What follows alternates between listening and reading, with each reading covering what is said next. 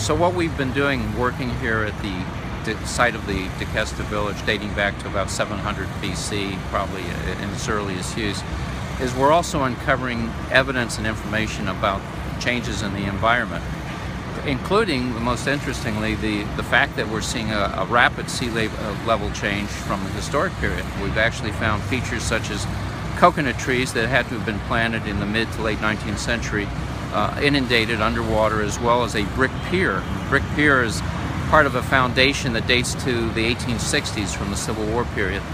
And those lines of evidence really strongly indicate a relatively rapid sea level change in this part of Miami dating back from the 1816 1880s uh, until present. It looks like uh, the change is at least one to two feet, somewhere in that range in terms of the increase in water table.